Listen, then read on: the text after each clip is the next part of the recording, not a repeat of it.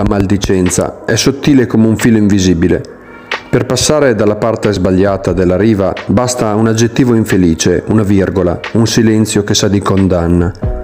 Succede se la bontà resta senza allenamento, quando da equilibristi, quali siamo un po' tutti, ci si sporge troppo sul bordo del pericolo, con il rischio, presto o tardi, di finirci dentro.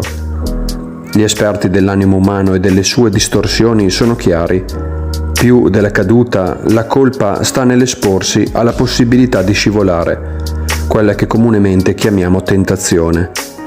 Il desiderio di apparire migliori di come siamo, la brama di salire ancora un po' nella scala del potere, la necessità di tarpare le ali a chi volerebbe più in alto di noi. Il parlare bene, nel senso di trovare vocaboli forbiti e immagini affascinanti, non è affatto un antidoto, anzi spesso apre le porte al parlar male, che vuole dire denigrare, insultare, calunniare, costruire delle storie così verosimili da sembrare vere, accusare l'altro dei comportamenti sbagliati che teniamo noi, chiamare male il bene e viceversa.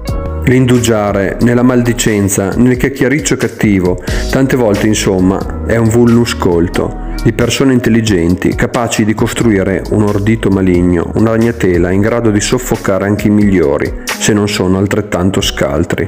Il pettegolezzo uccide, la lingua è come una spada affilata, intrisa di veleno. La prevenzione, allora, è nel fare un passo indietro, nel rifiuto a dialogare con il male, nel silenzio, nel digiuno dalla maldicenza e dal pettegolezzo, dall'esporsi all'uso di parole anche apparentemente buone per fare, consapevoli o no, il male. Perché la colpa non è cadere, ma camminare sul filo da equilibristi precari quali siamo, senza rete di protezione. Prima o dopo si scivola giù. Il segreto della felicità è camminare sul filo di un rasoio con gli occhi rivolti verso il cielo.